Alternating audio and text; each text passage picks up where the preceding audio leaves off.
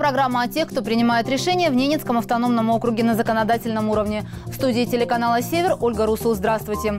В эфире очередной выпуск информационной программы «Законодатели» в этом выпуске. Современные мастерские, созданные по стандартам WorldSkills, открылись в социально-гуманитарном колледже. Со знаменательным событием студентов и педагогов поздравил глава региона Юрий Бездудный и спикер окружного собрания депутатов Александр Лутовинов. Совершенствование тарифной политики в Ненецком автономном округе обсудили в региональном парламенте. Участие в совещании приняли представители управления по государственному регулированию цен и ресурсоснабжающих организаций. Депутаты Ненецкого парламента ознакомились с состоянием дорог в городе Нарьян-Маре и поселке Искателей. Современные мастерские, созданные по стандартам WorldSkills, открылись в социально-гуманитарном колледже. Современная материально-техническая база создана в профучреждении в рамках федерального проекта «Молодые профессионалы», повышение конкурентоспособности профессионального образования, национального проекта образования.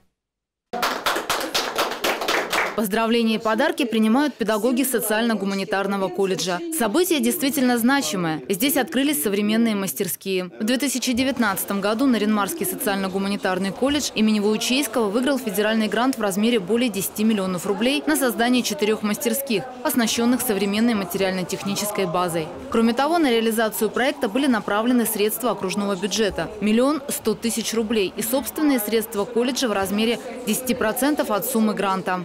И отрадно то, что молодые профессионалы будут, будут получать подготовку именно в тех условиях, в которых в будущем им предстоит работать. То есть фактически мы сюда, в колледж, перенесли ФАП, сделали группу детского сада, то есть фактически создали те условия, в которых предстоит в будущем работать. Уверен, что в этих мастерских, из этих мастерских будут выходить настоящие молодые профессионалы. В этом конкурсе на получение грантов принимали участие очень многие-многие коллективы. А вы стали победителями. И федеральный грант получить не так просто. А вы это сделать сумели. Это, наверное, это не, э, не так часто происходит. На самом деле и сумма гранта весьма серьезная, которая позволила вот здесь стоять медицинский социальный уход, та мастерская, которая действительно будет направлена на то, чтобы вы помогали конкретным людям. Основной задачей мастерских является обеспечение практической подготовки обучающихся в соответствии с современными стандартами и передовыми технологиями, в том числе стандартами WorldSkills Russia. Э, новое оборудование позволит нам стать центрами проведения э, демонстрационных экзаменов по компетенциям.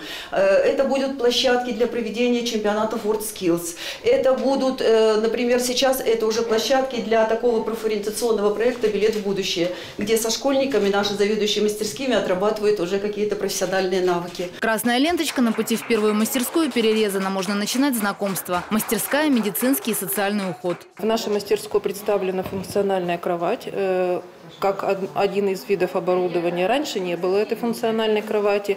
И студенты это видели только когда шли на практику в больницу.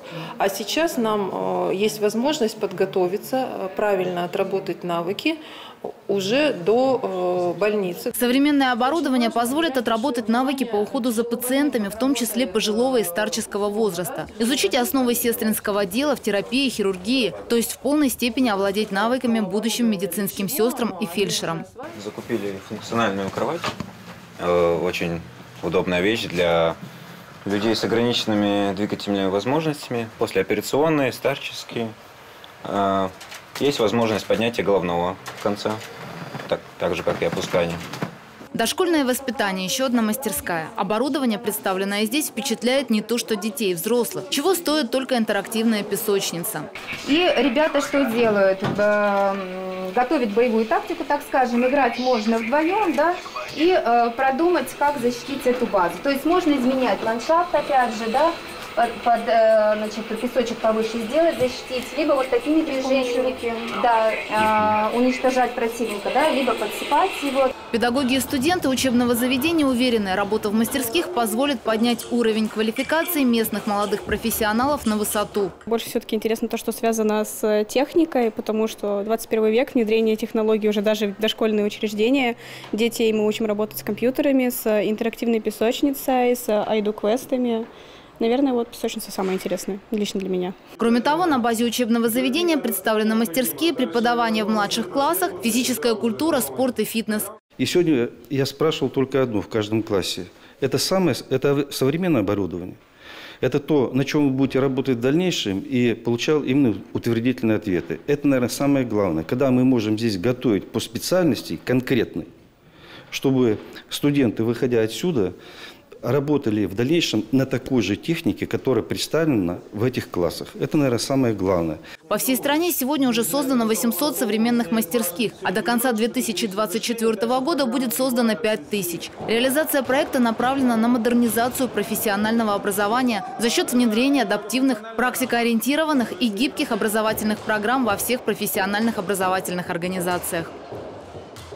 Дети Арктики. Министерство Российской Федерации по развитию Дальнего Востока и Арктики представило проект программы, в котором нашли отражение предложения, поступившие субъектов арктической зоны. Участие в совещании приняла Рима Галушина, член Совета Федерации от Ненецкого округа.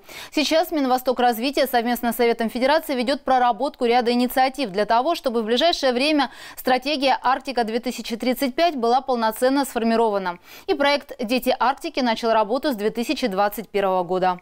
В ходе недавних парламентских слушаний было рекомендовано рассмотреть вопрос о финансировании летнего отдыха детей, проживающих в арктической зоне. Вопрос о предоставлении федеральной помощи на организацию летнего отдыха юных северян решен, но в настоящее время не определен механизм финансирования.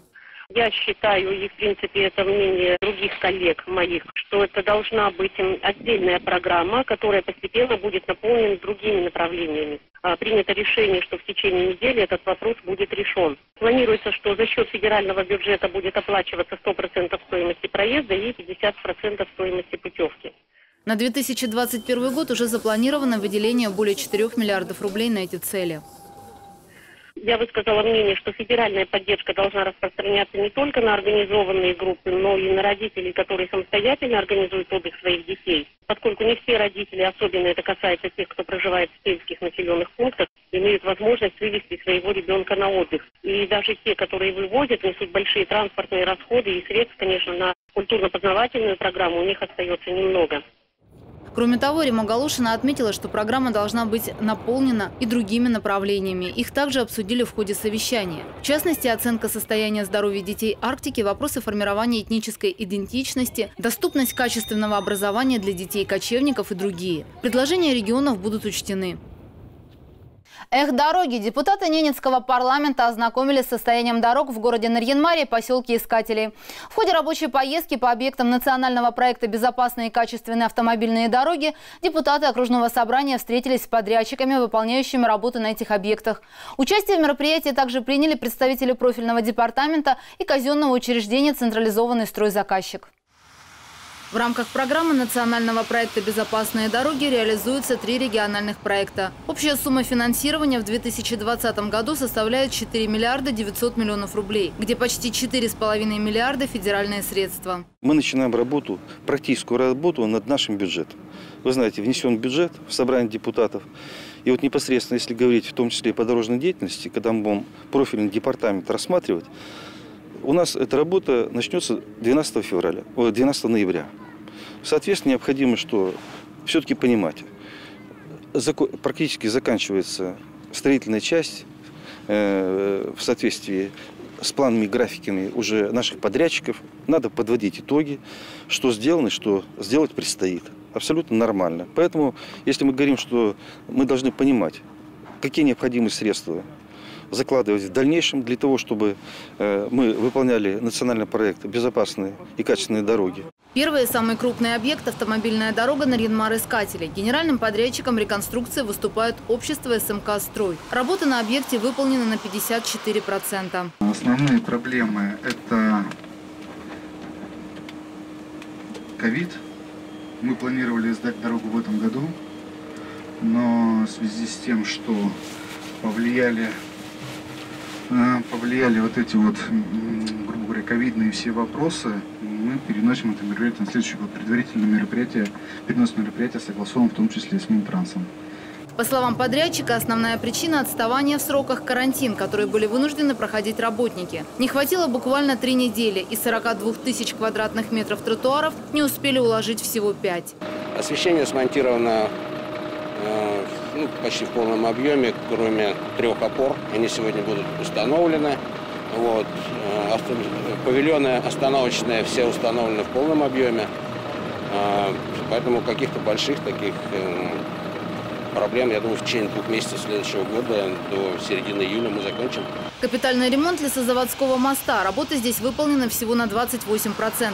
Мероприятия по ремонту этого объекта автомобильной дороги приостановлены. В настоящее время проектная документация проходит государственную экспертизу. Если э, конструктивный разговор пройдет в таком же ключе, как он сейчас намечается, э, я думаю, мы выйдем к следующему сезону по началу строительства дальше. Потому что идет перепроектирование именно объездной дороги, вот, именно установки Э, временного моста. В этом вся проблема. По словам генерального подрядчика, были неправильно проведены геологические изыскания. В месте обустройства насыпи обнаружилось 8-метровое скопление ила. Это повлекло к осыпанию дамбы. Сейчас проектная документация откорректирована и проходит государственную экспертизу. Однако состояние моста вызывает огромные опасения. В данном случае необходимо, чтобы был нормально разработан проект, да, согласованный. На, вот, и когда будет проект, тогда уже необходимо будет предусматривать, это жизненно необходимо будет, потому что это связь непосредственно города с искателями, да, все мы там постоянно ездим по этому мосту, это наша безопасность, а безопасность в первую очередь. Поэтому, конечно, будут изыскиваться средства, когда будет уже непосредственно проект готов. Следующий проблемный объект – дорога по улице Авиаторов. Муниципальный контракт стоимостью более 79 миллионов рублей был заключен в июне прошлого года. Работа выполнена на 95%. Компания-подрядчик уверяет, успеет доделать все работы до конца этого сезона, в ближайшие две недели. Благо, что они не зависят от погодных условий. Все зависит от подрядной организации, как она быстро отреагирует на наши замечания, как она их быстро устранит. То есть, если они это оперативно сделают в течение двух-трех недель, да, ну, пока еще погода позволяет, то, ну, соответственно, будем вводить в эксплуатацию. А те недочеты, которые исправить сейчас уже не получится, обещают исправить уже в следующем году под гарантийное письмо. Какие замечания невозможно устранить в данный период? Э, ну, они под гарантийное письмо, да. А какие невозможно? Э, ну, это разметка недоделана, э, озеленение. Но начинали делать, да, разметку? Да, да. То есть, как бы вот, ну, понятно, по погодным причинам. А колодцы? По колодцам, по колодцам... Э... Ну, то, что они будут ходить, велосипедистам Есть решение, оно согласовано с заказчиком. Ну, это тоже как бы в целом в течение двух недель это все можно устранить без проблем. Реконструкция улицы Полярная. Стоимость муниципального контракта составляет более 58 миллионов рублей. Он предусматривает устройство тротуаров, освещение, ограждение, озеленение и непосредственно реконструкцию самой дороги. Однако в апреле этого года с объекта были сняты лимиты финансирования в размере порядка 40 миллионов рублей. В связи с чем подрядчику в декабре был выплачен аванс на 16 миллионов по условиям контракта. Вот. Э, в апреле сняли лимиты, поэтому подрядчик сейчас отрабатывал аванс 16 миллионов. Он его отработал и отработал даже выше. На данный момент еще порядка 10 миллионов, в принципе, у него есть к закрытию. На сегодняшний день на этом участке автомобильной дороги выполнено 80% работ. Все, что осталось, а это непосредственно реконструкция дорожного полотна, продолжат делать в следующем году. Естественно, при условии восстановления финансирования. Еще один объект – автомобильная дорога по улице Ленина. Стоимость контракта почти 189 миллионов рублей. Срок окончания работ – 31 октября следующего года. По словам подрядчика, работы ведутся здесь без отставания от графика. Вот, тут на данный момент работы производятся по укладке кабеля, то есть э, переустройство электрических сетей. Вот, и, скажем так, уже окончание планировки. Газовые сети смонтировали полностью, ливневку, канализацию, все полностью смонтировано. Остались емкости, которые вот на заднем плане, и кабельные линии уложить. Все, но в этом году у нас как бы этот этап. Комментируя итоги поездки, председатель собрания депутатов Александр Лутовинов отметил, что с подрядными организациями налажен конструктивный диалог. Здесь важно, что мы должны максимально использовать федеральные средства, которые поступают в рамках национального проекта. И, конечно, чтобы мы здесь тоже могли свою часть финансирования тоже определить. Это очень важно. Поэтому вот сейчас надо определиться и сказать, чтобы мы уже начнем в практической плоскости, уже понимая, какие проблемы перед нами стоят, их надо закладывать в тот бюджет, который будет принят на, теку, э, на последующие три года. Кроме того, он отметил, что депутаты с пониманием относятся к проблемам строителей, но устранить все выявленные недостатки нужно в максимально короткие сроки и завершить работы. Совершенствование тарифной политики в Ненецком автономном округе обсудили в региональном парламенте. Участие в совещании приняли представители управления по государственному регулированию цен и ресурсоснабжающих организаций. Участники совещания отметили значительный рост расходов окружного бюджета на эти цели. С 926 миллионов рублей в 2016 году до 1 миллиарда 400 миллионов рублей в 2020 году. Тариф Севержилкомсервиса на электроэнергию для прочих потребителей без НДС в 2020 году по сравнению с 2016 годом вырос почти вдвое – с 28 рублей 90 копеек до 46,5. По словам руководителя профильного ведомства, постоянным фактором роста расходов на производство электрической энергии является увеличение затрат на ГСМ. Стоимость одной тонны дизельного топлива с учетом транспортировки выросла за последние 4 года на 35% и составляет почти 68 тысяч тысяч рублей. Необходимо на самом деле Северожилкомсервису продумать вопрос, а больше всего процент занимает это топливо, то есть по снижению закупки ГСМ, который из года в год увеличивается и на 16% за 5 лет практически увеличилась. Это очень большая сумма. Заместитель главы администрации Заполярного района Андрей Мухин рассказал о принимаемых мерах по снижению расходов организации в сфере ЖКХ, в том числе по оптимизации расходов на потребление топлива наше мнение, думаю, что нужно стучаться в федеральные органы власти. Да? Было бы хорошо, если бы была бы государственная практика финансирования перевозки э, ГСМ, значит, либо было финансирование закупки и перевозки, либо хотя бы по процентам э, компенсации банка, либо значит, э, финансовая поддержка по значит, беспроцентному займу, займу по закупкам. Эти меры позволили снизить расходы на обеспечение северного завоза, но решить проблему высоких тарифов так и не удалось. Данная ситуация, которая получилась в этом году с единственным поставщиком, позволила нам, э, в отличие от предыдущих годов, когда у нас дизельное топливо росло более чем 20% ежегодно, в этом году мы вложились в 2,2%, в индекс установленный Минэнерго, а уголь у нас даже снизился на 4%. Э, в структуре себестоимости электроэнергии в 2020 году затраты на топливо Севержилкомсервиса составляют почти 50%. К примеру, в 2010 году доля данных расходов составляла 30%. Вице-спикер Максим Арбузов предложил создать рабочую группу, чтобы по каждому виду субсидий провести анализ и подготовить конкретные предложения.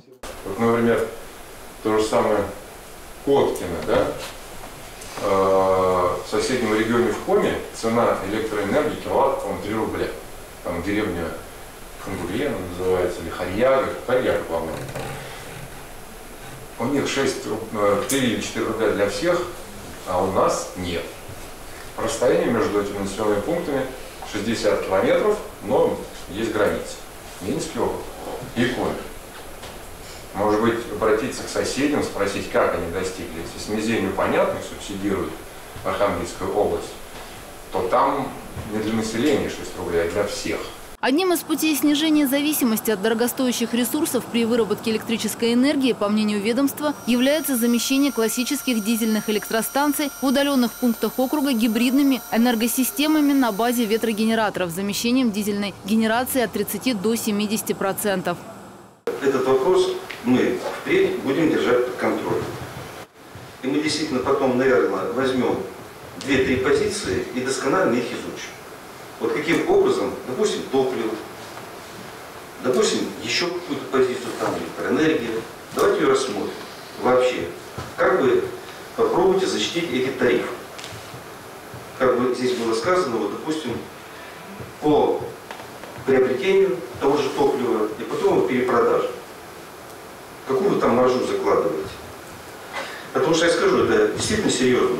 Над вами смеются порой, потому что те, когда вот я приезжаю в ту же Несси Нижнюю Пешу, они говорят, а мы бы сделали это запросто, дайте нам эти деньги.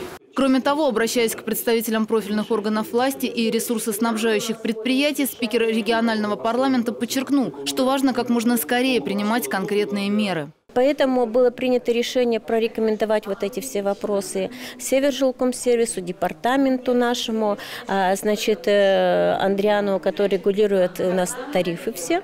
А вот они предоставят нам информацию до 1 декабря, снова потом мы проведем совещание и будем уже работать непосредственно по направлениям по снижению тарифов, потому что это очень важный вопрос. И фактически на следующий год, если в 2019 эта сумма была миллиард двести, на следующий год это практически полтора миллиарда, это не считая то, что еще будут оплачивать наши бюджетные учреждения. То есть это просто запредельные суммы. К проблеме тарифов в Ненецком округе парламентарии намерены вернуться в декабре этого года. Тогда планируется провести повторное совещание, на котором вновь обсудят работу по системному снижению тарифов в Ненецком округе. Тарифы по вывозу твердых коммунальных отходов обсудили окружные парламентарии на очередном совещании. На территории Ненецкого автономного округа переход на новую систему обращения с твердыми коммунальными отходами осуществлен в 2020 году. Выделены две зоны деятельности региональных операторов. За первую зону городская агломерация, а также поселки Искателей, Красное, село Тельвиска несет ответственность городское предприятие «Комбинат по благоустройству и бытовому обслуживанию». Вторую зону территории сельских населенных пунктов обслуживает Севержилкомсервис Жилкомсервис предприятия Заполярного района. На этапе прогнозирования размеров тарифов в 2019 году были выявлены основные проблемы с точки зрения тарифного регулирования, которые не устранены до настоящего времени. Среди проблем в первой зоне деятельности отсутствие газоснабжения на объекте обезвреживания ТКО. При установлении тарифов расходы на приобретаемые энергетические ресурсы комбината по благоустройству и бытовому обслуживанию скорректированы с уменьшением на 25 миллионов рублей. Исключены нецелесообразные расходы на дизельное топливо и включены расходы на природный газ, так как у предприятия предприятия существует возможность осуществить присоединение к газовым сетям. Данное решение на 30% сократило необходимую валовую выручку и тарифы регионального оператора, обеспечив доступность услуги по обращению с ТКО.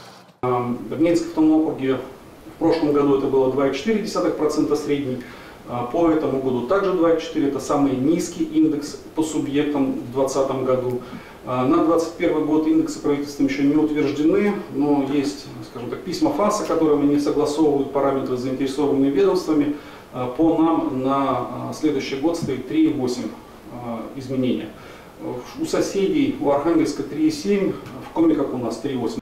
Вторая зона деятельности – территория Заполярного района с дорогостоящей логистикой. Определяющая статья затрат регионального оператора второй зоны – это транспортировка ТКО – 87% в сумме необходимой валовой выручки. Для снижения стоимости услуг по обращению с ТКО во второй зоне необходимо увеличение срока накопления ТКО на площадках с 11 до 36 месяцев. В соответствии с существующей территориальной схемой обращения с ТКО, региональный оператор вынужден вывозить отходы исключительно в город Нарьянмар. Отсутствие заключенного межсубъектного соглашения с Архангельской областью и Республикой Коми на размещение ТКО препятствует транспортировке ТКО из населенных пунктов полуострова Канин, Малоземельской тундры, Запада и островов Ненецкого автономного округа на ближайшие объекты размещения ТКО на территории соседних субъектов.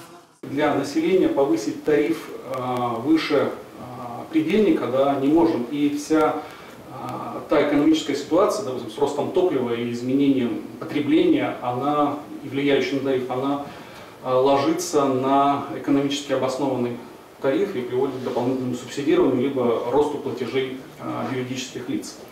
По мнению Сергея Андрианова, снизить стоимость услуг по обращению с ТКО в целом и тарифа для юридических лиц и предпринимателей можно путем частичного замещения субсидий юрлицам в целях возмещения недополученных доходов на субсидии на транспортировку ТКО водным транспортом. Применение понижающего коэффициента к денежному содержанию лиц, замещающих госдолжности, предлагается продлить. На заседании Палаты законодательных предположений большинством голосов принят к рассмотрению законопроект о внесении изменений в отдельные законы Ненецкого автономного округа.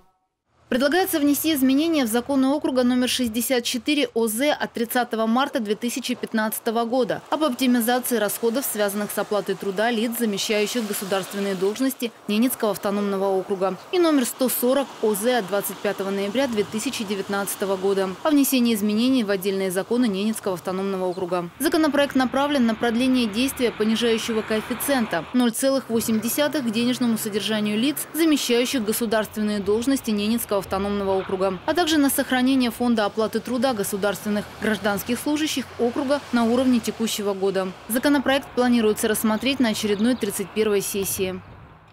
Следующий выпуск программы «Законодатели» выйдет в четверг, 12 ноября на телеканале «Север». Следите за событиями вместе с нами. До встречи.